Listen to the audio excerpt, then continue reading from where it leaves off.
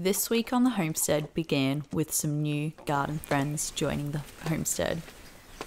We always have new animals joining, and these ones are especially special because we are adopting them from a friend who's moving up to Queensland.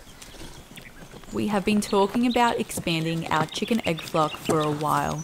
It's not that we need more eggs, but we love to share them and we love to cook with them and always have them on hand and feel abundant Oh, with wow, eggs. So I'm really excited to welcome six more beautiful hens at egg laying point right onto our property.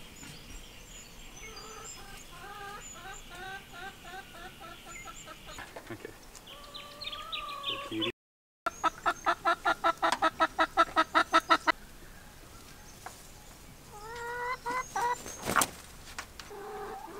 Cool.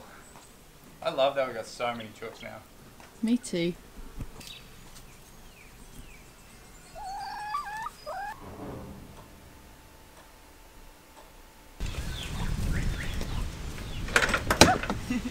Morning, ladies.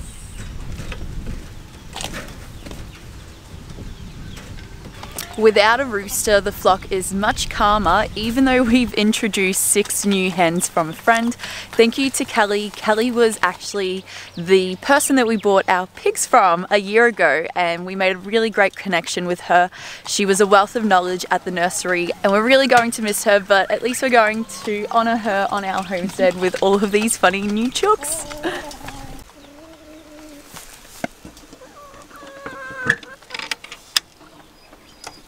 Any eggs this morning?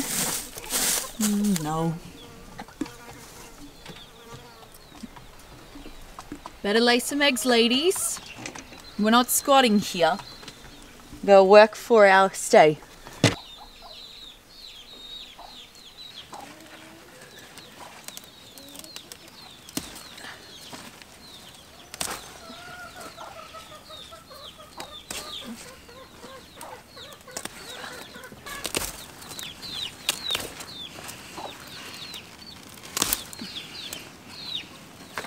The garden is finally starting to produce enough food for us to start preserving, and that's exactly what I plan on doing today with all of the rhubarb that I have, all of the nasturtium flowers, and even some of the garlic scapes that I have growing in my garden.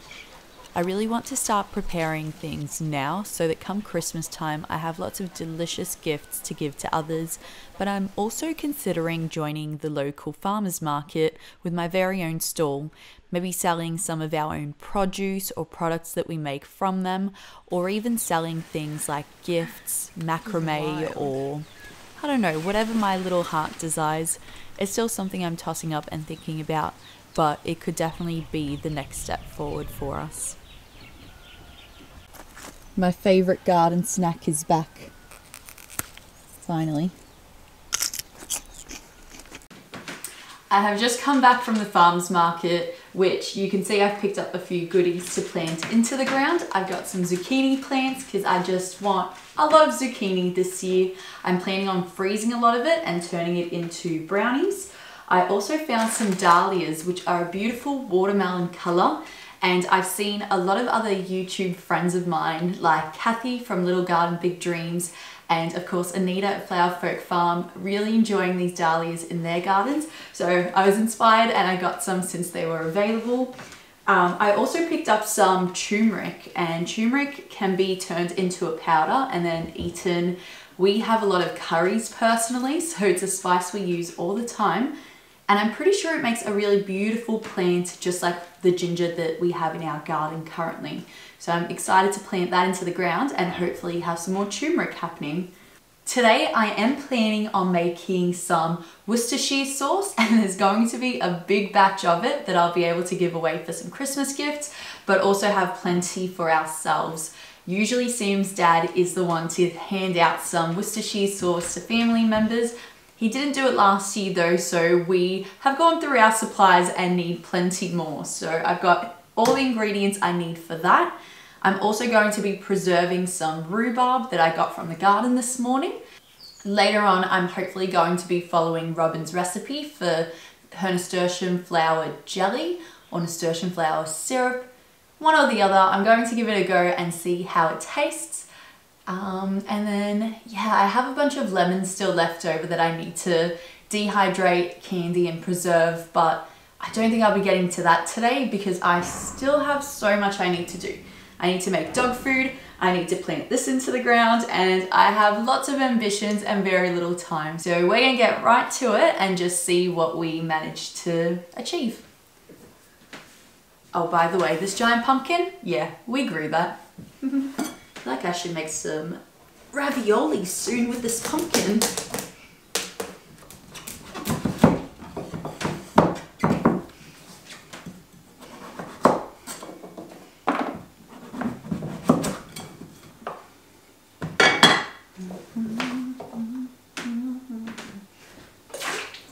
I have about 20 minutes to go before my sourdough needs to be worked and mixed and have the salt put through it.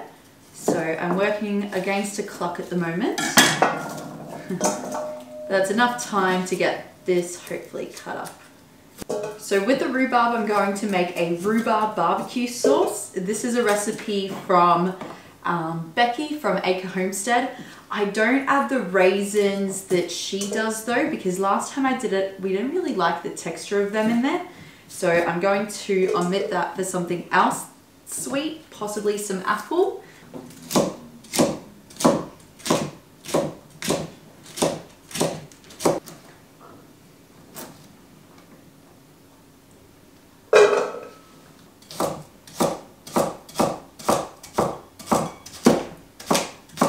I actually did remember that I had some that I froze last season, so I'm going to let some of these thaw out and use them up instead.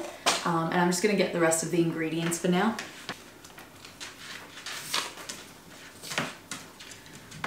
Half a cup of onion, half a cup of vinegar, half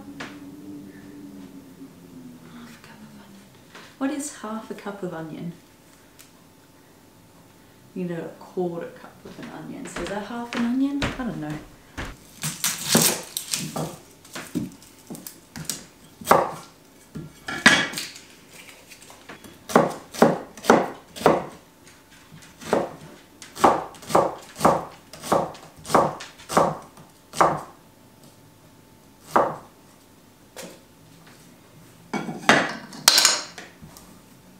Cool. So half an onion.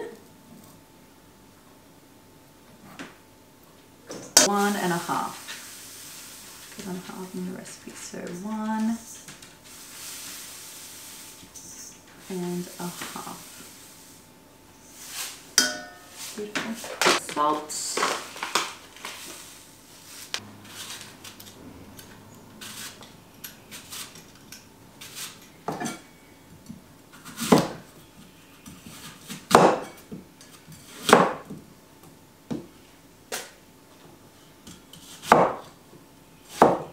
I think the are going to work better than the raisins because they'll actually melt away into the sauce while the raisins kind of stayed chunky and it was a really yucky texture when we used it.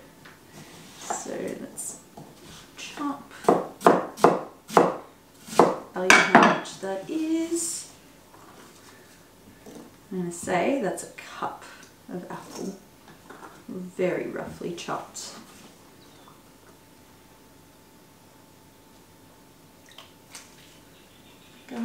We're going to do a teaspoon of each of these. So, teaspoon of cumin, teaspoon of chili,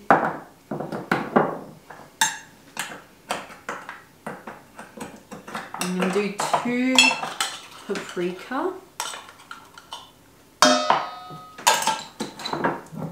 teaspoon mustard, teaspoon of pepper. And that is all the ingredients. So now we go and cook it. Lovely. Okay, so while the rhubarb barbecue sauce is on and the dog food as well, I'm about to get the sourdough out to do the first lot of stretch and fold and then it's going in for its bulk ferment and I'll be doing that stretch and fold routine every now and again. So I'm going to show you guys. The dough feels pretty good this time. It's way less sticky. Maybe I used less water this time than I did last time. I'm not sure what I did wrong last time. It was very sticky. So hopefully a better loaf coming to us this time, even though the last one was so delicious and two loaves lasted three of us all week.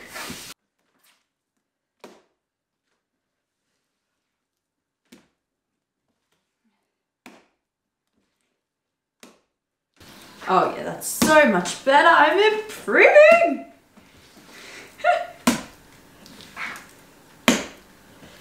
Alright, we let this rest for 15 minutes and bulk fermentation begins.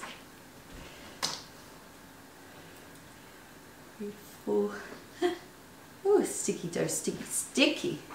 See, I think the secret with a good sourdough loaf is not experience or technique or anything else or a recipe. I think it literally comes down to having a mature starter.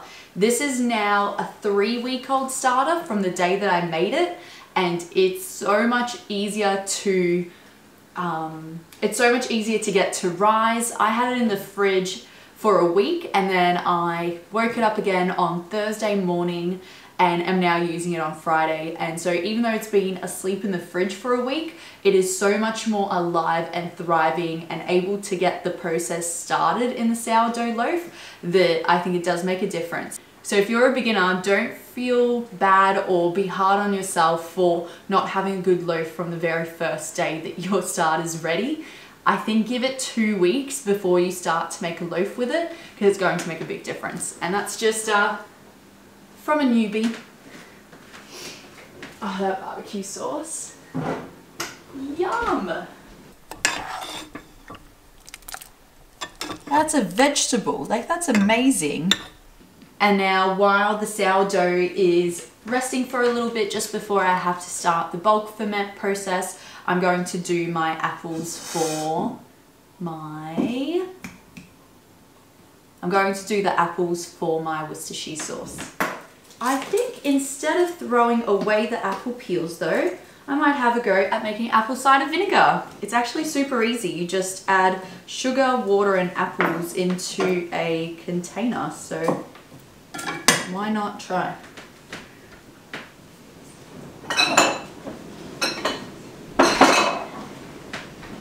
plenty of apples that I'm about to go through. All the experiments today. Apple cider vinegar is super beneficial to so many things. It's good for gut health because essentially it's fermented, it's good for animals. So if you put it into an animal's drinking water, it can have a really good beneficial effect on their stomach. So I'm really excited to try to make this at home because it sounds pretty easy. You can even use it to replace white vinegar with cleaning. It will just give a nice appley scent.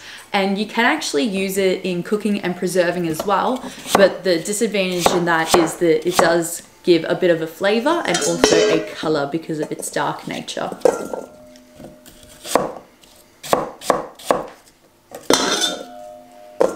That giant pot at the back is for the Worcestershire sauce because I'm not quite sure how much space I'm going to need. It needs like five litres of vinegar, so just in case.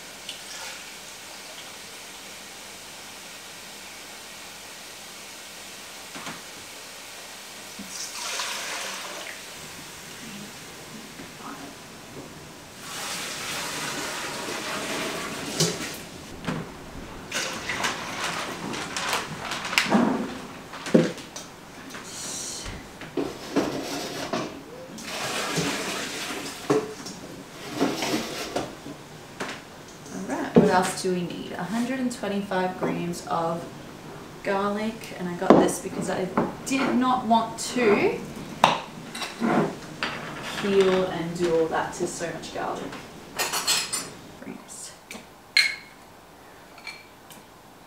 Oh yeah, definitely did not.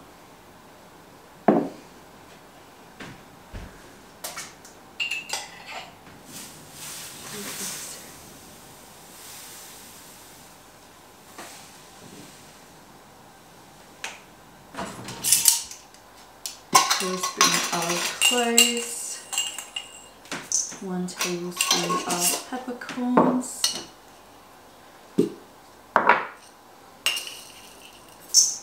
and the treacle in later. The Only other thing we need is seven anchovies. This fancy little jar.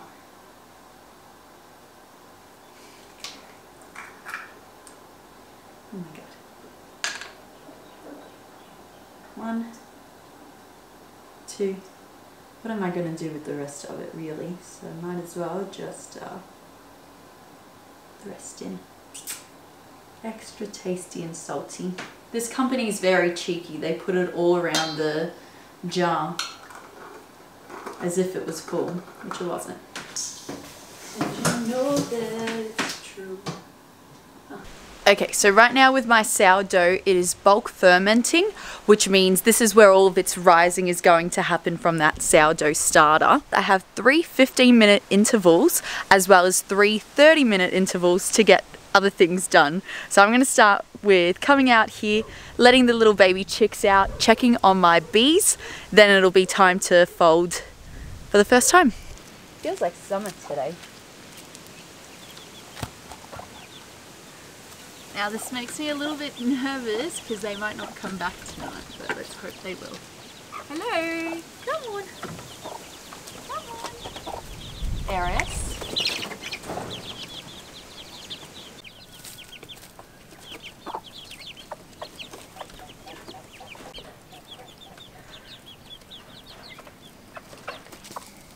It's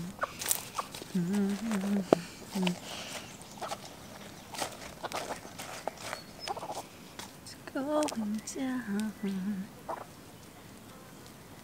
And you-. It's going down.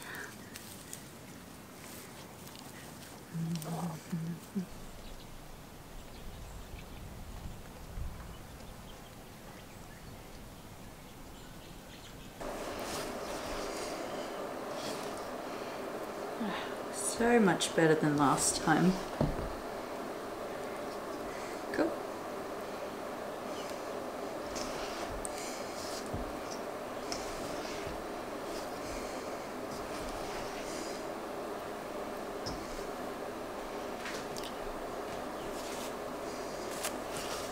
And on to the next one.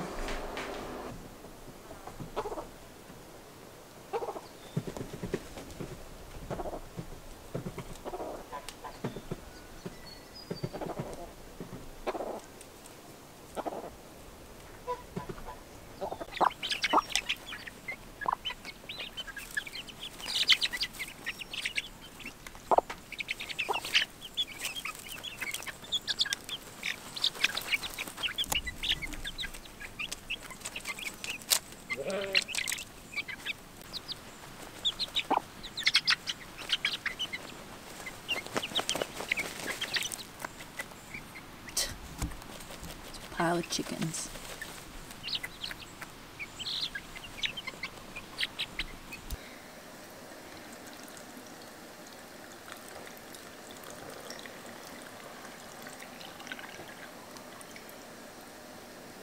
Good, that looks pretty good. Right, say three tablespoons of sugar.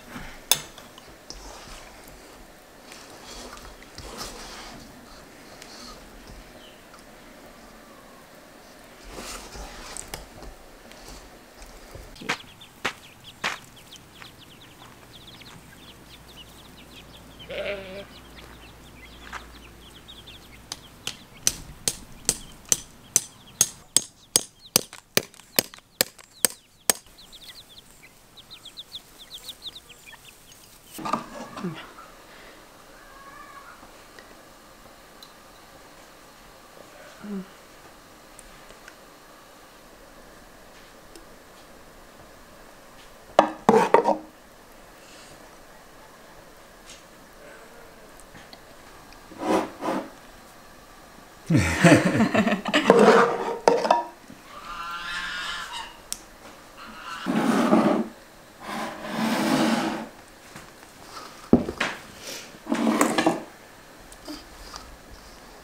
it look great? Look at the jiggle. Jiggle, jiggle, jiggle. No, look at the jiggle.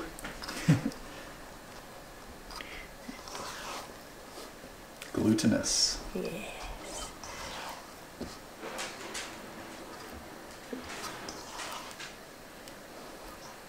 Ah, look at that form. Oh, this is exciting. That's it. Go back in.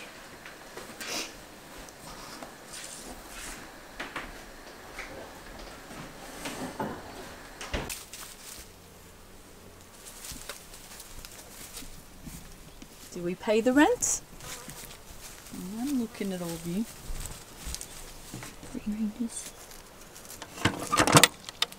Ha ha! Guess how many eggs? Three. Six! Six eggs. Wow! Good job, ladies! Great rental payment. You can stay. Wow! So good!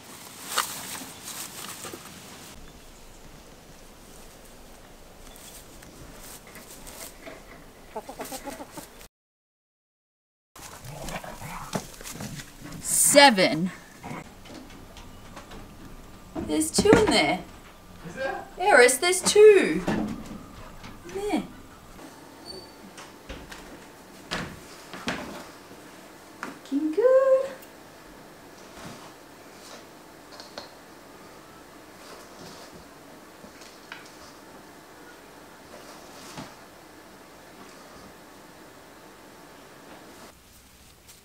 I think this is the best place for my turmeric.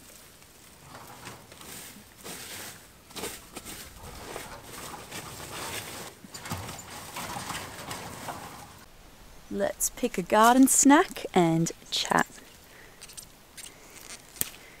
Yes, my nails are filled with dirt. I am a grub. Last time that I shared some of the books that I picked up at the library, you guys were super keen. I wasn't a big fan of the native medicinal book. It was a little bit hard to digest with not enough images. So my recommendation wouldn't be to get that one unless you love super scientific books. Um, yeah, I don't know. Wasn't for me. Have you guys seen my pearl lilies? They're so beautiful. Black pearl. Oh, and they smell good too. All right, so some of the things that I picked up from the library, I picked up I picked up some more homesteader friendly books that are written from people that garden um, and are quite well known. So I think you guys will know these books. So the first book I picked up was the Milkwood book. Uh, Milkwood is a permaculture farm. I'm pretty sure it's quite close to us, or perhaps it's up towards Queensland but I think there'll be a wealth of knowledge in here, and I'm just really keen to hear their perspective and also hear their ideas on how they make things work and how they work with others on their property. I also picked up Hannah Moloney's book, which is a new one. It's called The Good Life. Um, I've heard a lot of really good reviews about it. Hannah actually makes certain videos for Gardening Australia, so she is super duper popular and I just, I love these types of books. I think they're so beautiful to read, um, really inspirational, and I tend to gravitate more towards these kinds of books when I'm reading things as opposed to like a fiction story, which can sometimes be really heartbreaking or really like down. So I like the uplifting stories of real life that people experience out on their homesteads, farms, or even gardens. So yeah, super excited to check these two out. I did also pick up some mail and I got a adult coloring book and I want to share it because this is just so beautiful. I plan on sending a couple of these to my sister and my best friend so that we can catch up on Zoom together and just color in. But this is such a beautiful book and inside too it's just filled with like little fairies in their gardens and on days where I need something more relaxing than trying to draw from scratch I'll be picking up this book and using my watercolors in it so I'm so so excited it looks stunning like look Oh, so pretty. It's called the Lunar Colouring Book. Might even do that now. Yeah, I think that's what I'm going to do now. While I wait for my sourdough.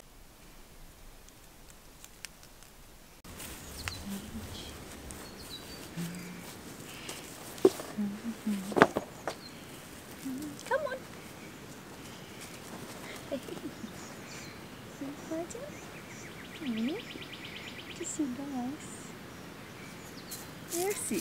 Now that the summer sun is here, or at least the end of spring is feeling almost like summer, I'm taking advantage of going outside, sitting on a picnic rug, just enjoying being out in the elements again, enjoying that sunshine on my, my skin and all of the sounds of the homestead around me.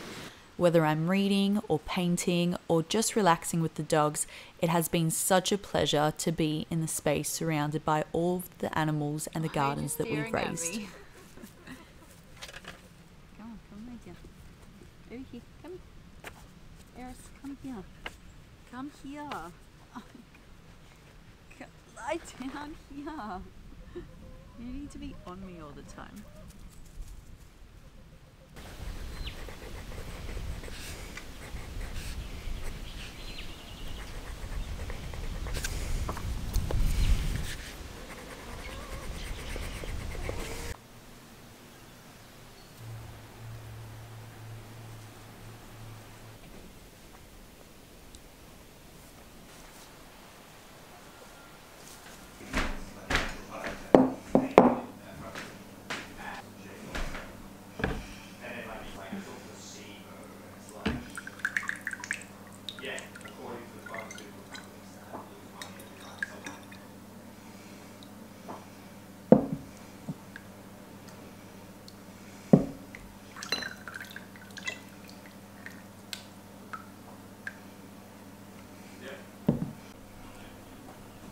That's how much one big pot made, which these are going to be perfect Christmas gifts. Now I need to shape the sourdough.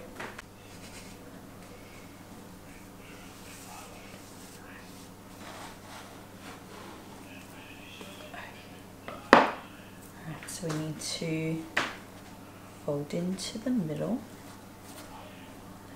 To right to left, top to bottom. Pinch the sides. And then, oh god, I forgot. Pinch the sides. Something about rolling onto itself. Oh, I forgot. I don't think I was supposed to do that. I'll just go with it. Make it tight. Oh god, it's so sticky.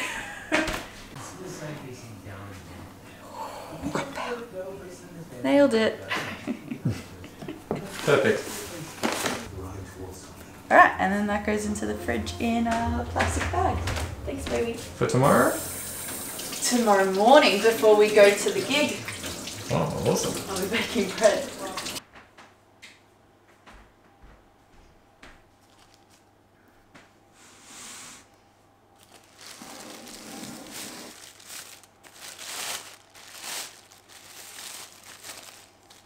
Oh, she's hot.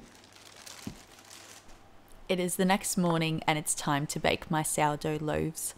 I'm so excited with how well they rose and I cannot wait to see how they bake up this time. I feel like each week I'm getting better and better, and it's not so much experience or practice. I think the really big difference is just my sourdough starter and being older.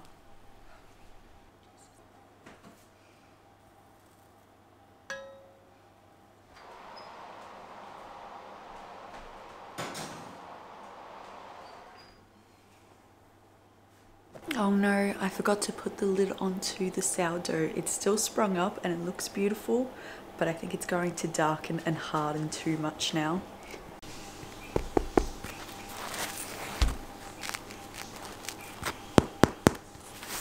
Sounds pretty good.